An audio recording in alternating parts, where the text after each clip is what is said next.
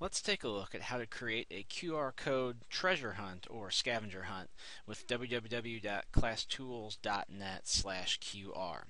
So when you're on their website, the very first thing you'll do is click on Get Started.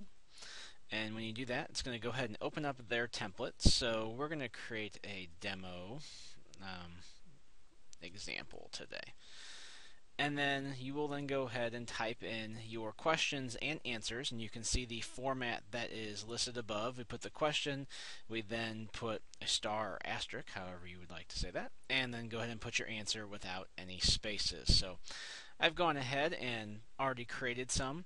You do have to have at least five um, in order to use this template. So in this case, I have six, and you can see those questions right in there. And then you can put a password in in case you need to get back to this later. Um, this is going to be demo 2-2. Recording this on the second. And at that point, you are ready to create the QR challenge. So let's go ahead and click the button here. And so what this is going to do, it now gives us a link. Here is the link that we have that'll take us to our QR codes.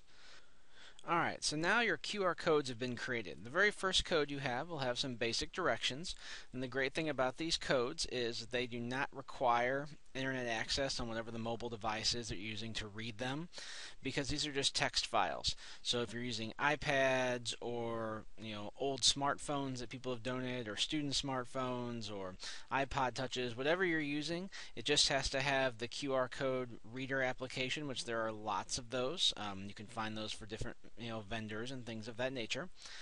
You as a teacher, all you have to do is now print this page out and your codes will come out. They're also nice and big. And then you can place these, whether it be around the room for whatever your activity is, whether it's a vocabulary activity, um, an activity we're just doing kind of review, or if you're doing kind of a simulation or scavenger hunt. And these might be some, you know, scenarios that students kind of come about as they reach that part of, you know, the simulation. The QR code's there. Again, kids are now mobile. They can be doing these things in different parts of the room. So that's all there is to using the QR code scavenger hunt um, treasure hunt maker. And we hope that you have fun doing this and that your students have a great time learning.